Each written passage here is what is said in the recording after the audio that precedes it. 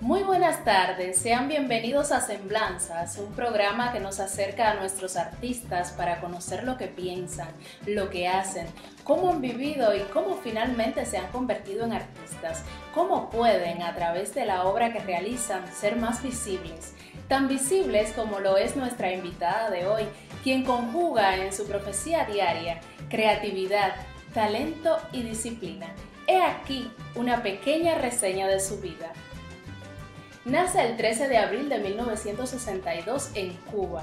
Cuenta con 54 años de edad. Su estado civil es soltera, no tiene hijos. En el ámbito profesional es graduada en el Conservatorio Esteban Salas de Santiago de Cuba de nivel elemental en la especialidad de ballet. Entre los años 1976 y 1978 estudia en la Escuela de Arte de dicha provincia. Posteriormente se traslada a la ciudad de Camagüey para insertarse en la Escuela Profesional de Arte, donde se gradúa en 1980 como bailarina de nivel medio. Durante los años 1987 y 1992 estudió licenciatura en Artes y Letras en la Universidad de Oriente, Cuba. Con el afán de superación ha participado en seminarios, talleres, concursos. Es profesora de gimnasia, danza aeróbica, baile entretenido. Y debo añadir que es una sonera de corazón, fiel promotora de los bailes populares y tradicionales de su país. En el año 2015 es merecedora de la certificación de instructora de Zumba en Santiago de Chile.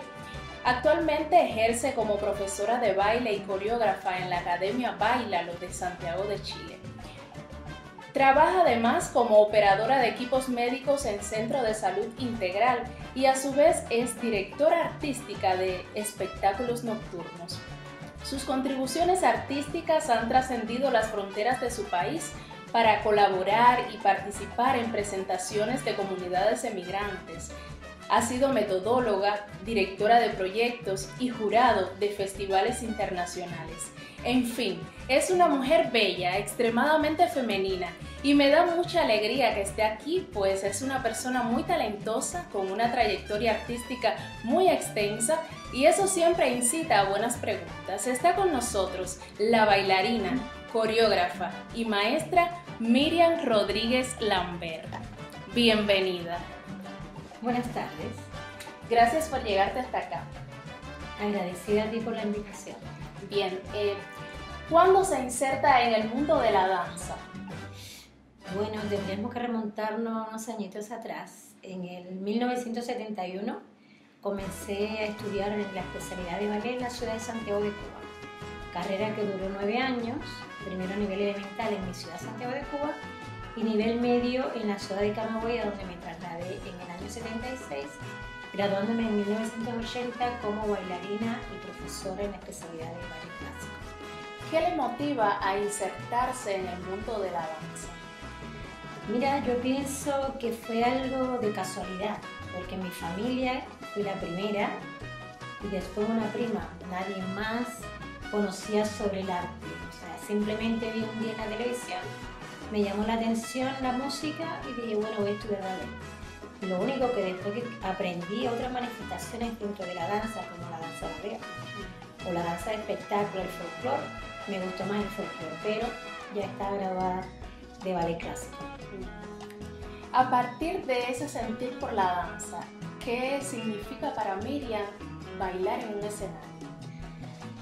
Yo pienso, y me he demostrado que para mí el bailar en un escenario es vida, porque a estos 54 años que tengo, desde los 9 es lo que conozco, y para mí yo siempre digo que la vida es un baile, no puede existir vida en mí si no hay movimiento, no puede existir vida si no hay expresión, si no hay proyección, si no hay contacto, y eso solo lo puedes lograr a través del baile.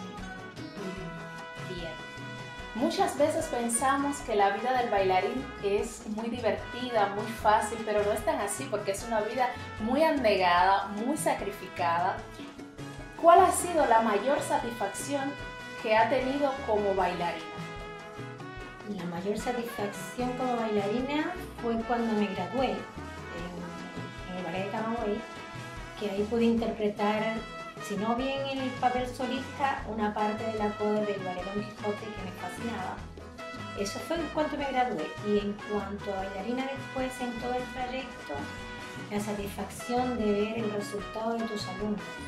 O sea, durante todo el tiempo que estuve trabajando, ya sea como profesora de ballet o como profesora de fútbol internacional, en todo lo que es Cuba y en los países que he viajado, tener esa, esa satisfacción de que te puedes encontrar un alumno, una coreografía, un detalle de esas personas que fueron tus alumnos que tú jamás imaginaste que en un momento determinado podrían ser también profesores. Grande satisfacción. Una gran satisfacción. A nivel profesional, ¿cómo se definiría? Uh, ¿Cómo me definiría? Pues una mujer cubana, satisfecha con lo aprendido y capaz, con la, con la capacidad de enseñarle a muchas personas y no irme de este mundo sin haber dejado un legado de lo que me enseñaron mis profesores. Porque siempre hay que estar agradecido de las personas que te enseñan, aún así cuando ya tú eres profesional. Eso nunca se puede olvidar porque es la base y eso es lo que trabajamos los profesores en base a que en un momento determinado, si bien el alumno puede superar al maestro, que tenga ese respeto por su profesor. Por supuesto. Además de la danza, ¿cuáles son las otras pasiones de Miriam? Me gusta la fotografía, me encanta viajar y me encanta tener amigos. Grandes pasiones. Grandes pasiones. Es bailarina, coreógrafa, maestra. ¿Qué ha significado esa faceta de educadora? Mira, esa faceta de educadora ha sido muy interesante porque durante mi trayectoria he tenido la suerte de trabajar en diferentes niveles, con niños, con adultos, con abuelitos e inclusive con, personas privadas de libertad. Cuba tuve la suerte de trabajar ocho años en una cárcel y fue una experiencia muy linda porque ahí se conoce de verdad lo que es el ser humano, las partes buenas, las partes negativas. Y ahí aprendí que siempre con un poco de amor el profesor puede llegar a sus alumnos. Y me lo demostró porque muchas de esas personas, no, no su mayoría, pero muchos de ellos lograron insertarse nuevamente al sistema social. Muchos eh, necesitaron un aval para bailar, otros para cantar, y eso que me da satisfacción, o sea, que tú puedas contribuir de una forma a que ellos, ellos contribuyan también a la sociedad y a donde están viviendo. O sea, has trabajado con diferentes grupos etarios. Con diferentes grupos etarios. Pero, ¿con qué grupo te has identificado más? Es una pregunta difícil. Porque mira, podría decirte, cuando viví en Bolivia me identifiqué mucho con los niños de un colegio cuando estaba en Cuba trabajé con un grupo muy especial, que siempre lo recuerdo, con dos grupos muy especiales. Uno era un grupo de sordomudos, que tenía un grupo de danza conmigo, y otro un grupo que fue el que me dio una de las mejores pasiones que comencé a hacerme profesional en Santiago de Cuba, el grupo de danza Luces de América, que fue el grupo mío de la universidad, donde yo comencé a trabajar como coreógrafa. Y también, que tampoco puedo olvidar, mi trabajo, el paso por la Escuela de Instructores de Arte, que tengo muy lindos recuerdos. No solamente de mi especialidad, porque justo las otras manifestaciones artísticas, la música, la danza y el teatro, yo los incluía, los, eh, eh, incluía en las coreografías de mi danza, precisamente para que los alumnos se fueran entre ellos, vieran que las diferentes manifestaciones artísticas tienen que ver una con la otra y que no se sintieran divorciados. Y eso fue una experiencia bonita también. Cuéntenos algún recuerdo que le haya quedado eh, sobre la formación de esos artistas pedagogos en la Escuela de Instructores de Arte en Santiago de Cuba. Oh, y esos chiquillos me sacaron canas. sacaron canas, pero un recuerdo lindo. Ah, nosotros participamos una vez en un evento que se llamaba Sueños sin Mosquito. Sueños un reparto de la ciudad de Santiago de Cuba donde la Universidad de Canadá envió unos alumnos a hacer un proyecto en la ciudad de un intercambio cultural, pero por la parte de la salud pública. Y ellos llegaron a mí por conocimiento así de hay una profesora cubana que da clase y ellos me pidieron que presentara un proyecto para trabajar con ellos. Entonces me buscaron música que tenía que ver con la campaña del mosquito Aedes aegypti y yo le hacía la coreografía.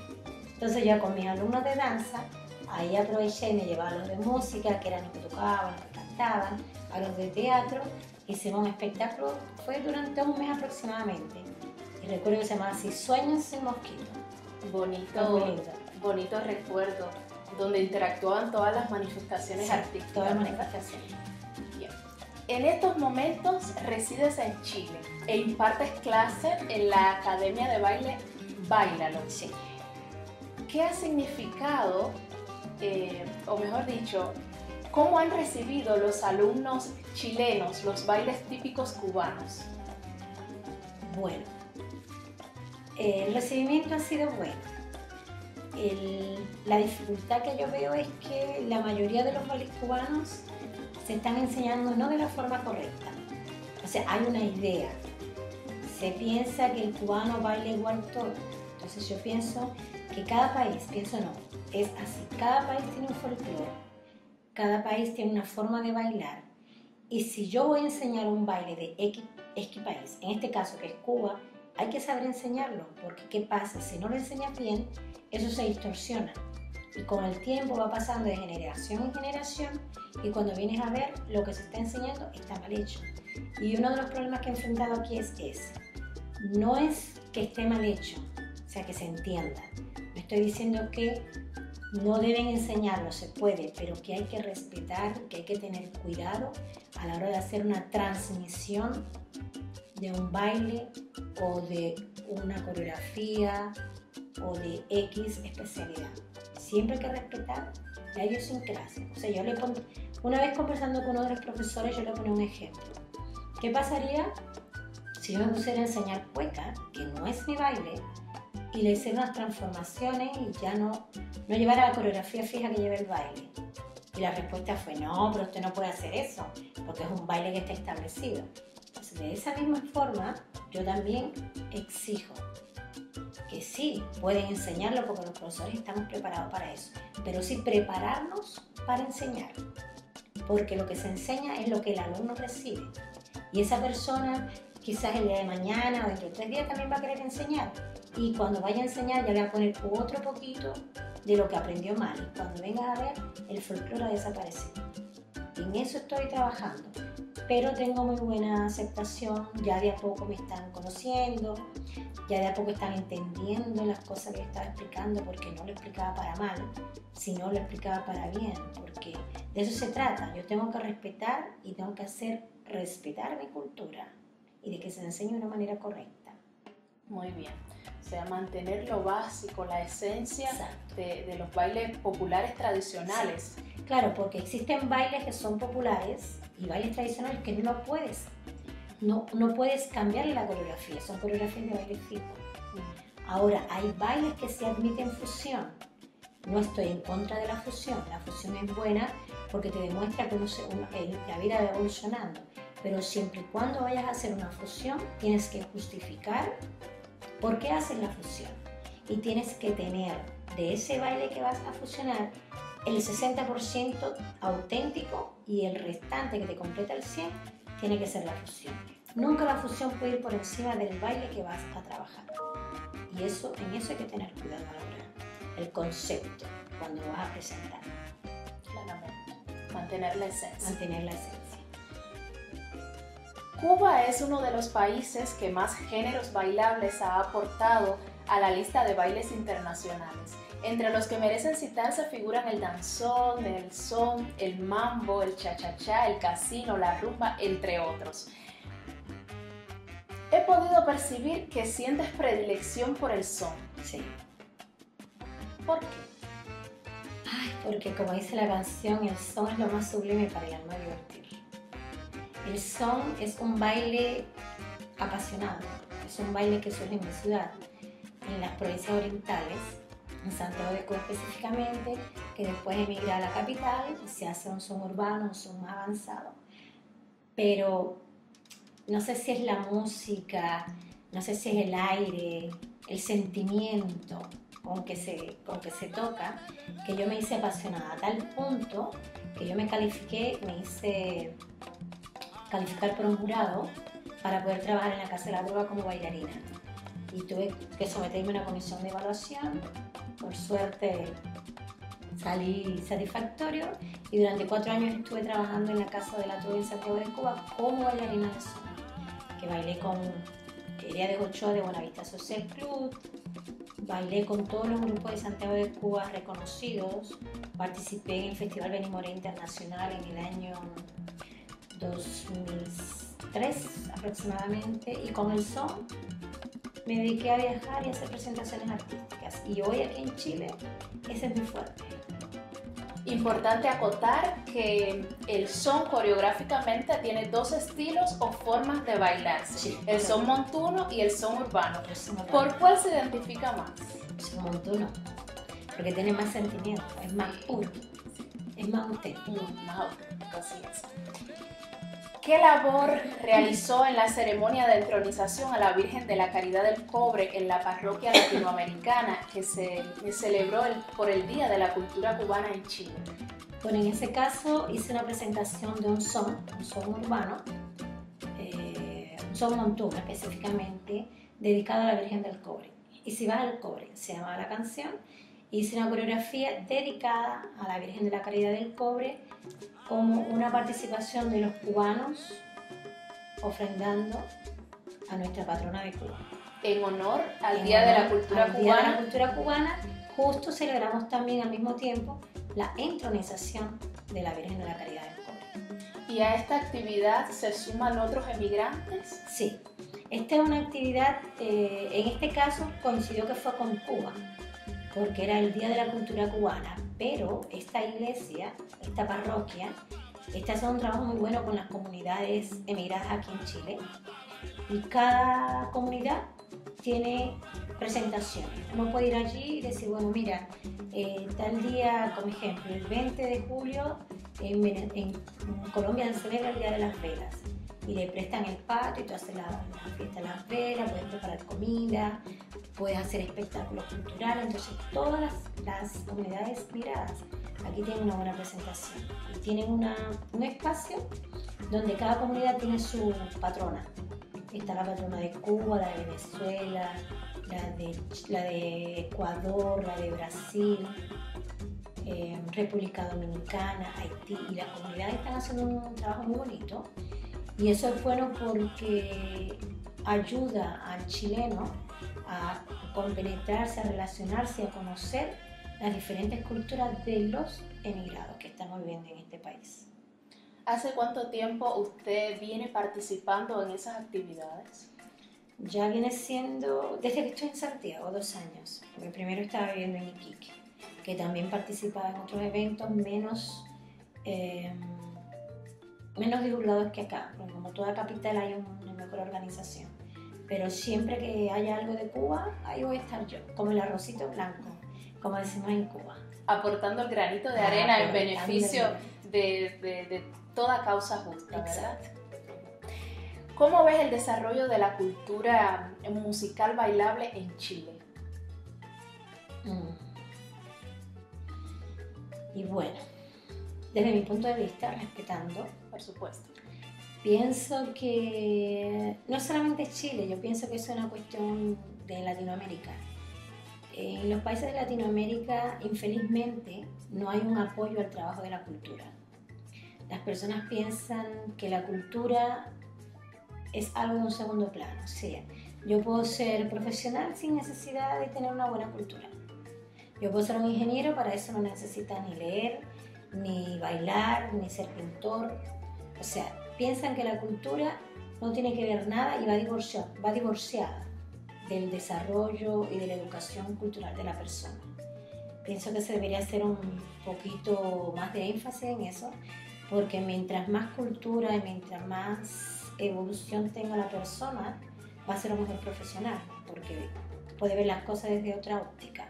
Y eso se ve muy claro y puede pasar porque con amistad lo he conversado, el chileno que viaja, que vive fuera de Chile, cuando viene tiene una visión más amplia, cultural, profesional, emocional, en todo sentido de la palabra, a la persona que nunca ha viajado. Y eso lo da precisamente el poder relacionarte, el poder aspirar a otras cosas que en tu país mismo no, ni te das cuenta que existen. Y aquí hay grandes, aquí han existido grandes artistas. ¿Y cuando se han hecho famosos? Cuando han estado muertos. Ahí se acuerdan que hay cultura y no. No tenemos que esperar a que pasen esas cosas. Hay que desde ya desarrollarlas porque hoy por hoy, desgraciadamente, yo siento que los países están perdiendo su propia cultura. O sea, no es como en otros países, en el caso nuestro, te hablo por Cuba. En Cuba se trata de que un por ciento de la música que se pone en la radio sea netamente nacional y el otro por ciento sea internacional. ¿Por qué? Porque si soy cubana tengo que dominar lo que yo conozco y después dominar lo otro. Sin embargo, en Latinoamérica sucede todo lo contrario. Hay mucha, eh, mucho bombardeo y mucha copia de culturas extranjeras, dígase norteamericana específicamente. Mira la televisión, la mayoría de los programas son copias no son eh, programas auténticos, no son programas basados en la realidad del país, son programas que lo puedes, te puedes dar cuenta que han sido copiados, simple y llanamente. Entonces eso creo que va en, le resta a la persona, le resta al país, le resta la educación, porque los niños no tienen un sentimiento de nacionalidad, no tienen un sentimiento no vamos a ser patrióticos, porque eso es para nosotros los cubanos que decimos patriotismo. De identidad. Pero no tienen un sentimiento de identidad. Y, pienso, y siempre me río con mis amigos, que digo, ustedes sienten identidad solamente en las fiestas patrias.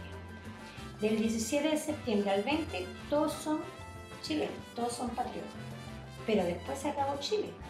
Después todo el mundo volvió a su vida normal, no hay quien te baile una, una cueca, hay quien te baile un baile típico, pues netamente te dicen que no lo saben. Mm. Eh, es decir, la cultura es necesaria, es imprescindible y ayuda en gran manera al enriquecimiento eh, personal y, en otros ámbitos de la vida, ¿verdad? ¿Qué le ha aportado la cultura chilena a su desempeño artístico? ¿Qué me ha aportado? Lo que me ha aportado es que hay que ser fuerte, hay que defenderse de, de todo lo que te pueda dañar en, el punto de vista profesional. Eh, desgraciadamente el sector, el ámbito artístico es un ámbito muy denso, un ámbito de mucha competencia, donde si tú no estás bien seguro de lo que tú sientes o bien seguro de lo que tú sabes, puedes perder muchas cosas. Entonces, lo que me ha enseñado es que yo sigo siendo la misma Miriam que salí de Cuba, con la misma enseñanza, con la misma educación, mejor preparada, con mayor fuerza. Me he obligado a estudiar más para poder rebatir o para poder enfrentar alguna, eh, ¿cómo decir?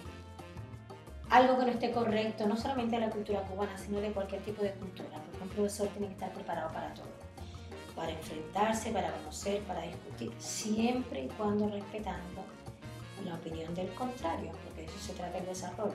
No todos tenemos que pensar iguales, pero sí nos debemos un respeto y en la medida que tú seas capaz de responder las preguntas que te hacen, puedes establecer un debate de la cultura, así te van a respetar.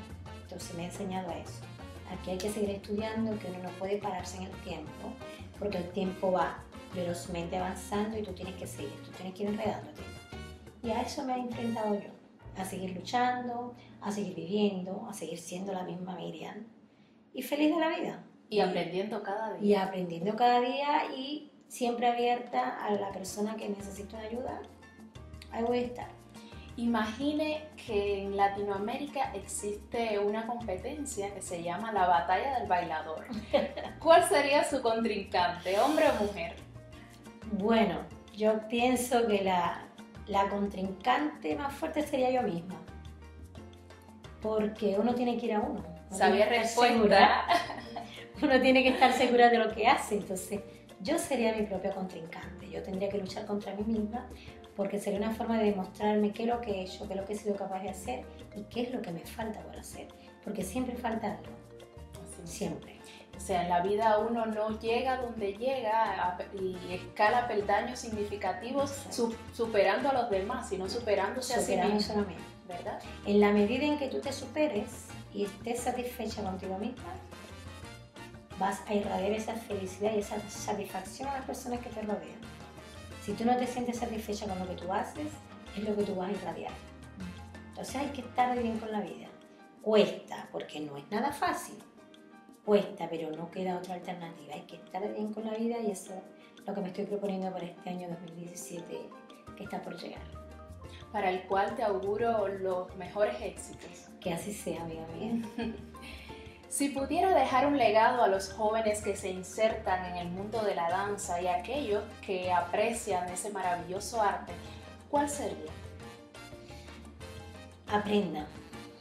No dejen de aprender, no dejen de practicar, no, no pierdan el hambre del conocimiento. Porque el día que dejen de pensar, dejen de tener el hambre por conocer, dejen de perfeccionarse, van a morir como artistas y como profesionales. Mm. O sea, ser persistente en los sueños. Todo cuesta. En la vida nos, nos trajeron a este mundo y no nos dijeron que era fácil ni que era difícil. Pero la vida es dura, es bella, fantástica, pero nos la dan una sola vez. Es lo único en la vida que nos dan una sola vez. Entonces hay que aprovecharla al máximo, en todo el sentido de la palabra, en el amor, en la vida, en lo profesional, en el trabajo. Y si tienes la dicha de pertenecer o de amar el arte o de participar o, estar dentro de alguna de las manifestaciones artísticas, entonces sé útil, porque no todos tienen ese don. No todos venimos al mundo para ser artistas o profesores. Entonces si llegaste, cúmplelo, absorbe, busca, pregunta. En preguntar no hay miedo existe ese problema muchas veces. No queremos preguntar por temor a... No, hay que preguntar. En las preguntas están las dudas. En las preguntas puedes evacuar cualquier, cualquier eh, problema, cualquier dificultad. Y no puedes preguntarle a uno más joven que tú. O puedes preguntarle a uno más viejo que tú. En esos dos hay enseñanza. Está la tuya, está la de la nueva generación y está, está la de la vieja escuela. Entonces ahí, en esa fusión, es que está todo y no cerrarse a aportar los conocimientos que se tienen, ¿verdad? Siempre estar dispuestos a brindar eh, lo que aprendimos en un momento determinado a esas nuevas generaciones que se insertan en, cualquier eh, profesión, no solamente en el arte. No, en, la vida completa. Pues yo pienso que uno tiene, eh, uno tiene un papel fundamental en la vida, hasta que, desde que nace hasta que mueres, y si, si aprendiste, tienes que pasarlo a otra generación porque no somos un árbol que nos, morimos y salen las ideas, no. Tiene que soltarla porque ¿de qué te sirve haber sido un magnífico profesor, un magnífico profesional y no dejaste ningún legado? Mm. Entonces, para perdurar en el tiempo tienes que dejar un legado para que las personas que vienen hablen de ti. Y eso vaya pasando y siempre la historia te va a recordar. De eso se trata. Así es. Propongo hacer una pausa en nuestra conversación para obsequiarte una rosa verde. Uy, qué interesante. Primera vez que recibo una rosa verde. Se dice que el color verde incita al que lo contempla sensaciones de serenidad, armonía, suerte. Oh, qué bueno. y se le atribuye al color de la esperanza y por consiguiente sus ojos son verdes. Gran combinación, ¿verdad? Perfecta. ¿Algo más que añadir? ¿Algún mensaje que le quieras dejar al público chileno? Bueno, pues agradecida de estar en esta tierra, eh, aprendiendo cada día más. Cosas lindas han pasado, cosas no tan lindas, pero es parte del destino, es parte de la vida, es parte de la superación y eternamente agradecida. Y, a los que están conmigo, mis alumnos, amor infinito y gracias por compartir y tratar de aprender las cosas de mi país. A ti las gracias por esta oportunidad y precisamente que sea una cubana que me haga una entrevista es doblemente maravilloso. Y desearte también este 2017 muchas cosas lindas y que tus propósitos y tus planes en esta vida sean cumplidos. Muchas gracias. Sabes que el sentimiento es mutuo. Muchísimas gracias. Toda obra tiene su pequeña y gran historia y esta no escapa de la suya. Dígase danza y estaremos hablando de mente y corazón. Hoy hemos podido constatar que nada que no se haga con trabajo y amor tiene logros, pues el amor en particular es fuente de todo que hacer, de todo accionar, del ímpetu y del deseo de crear. Agradezco a Miriam por acceder a la invitación y para contarnos parte de su trayectoria un poco a sus admiradores, y yo me incluyo, por supuesto. Sin más, me despido con el beso de siempre. Hasta la próxima. Chao. Chao. Gracias.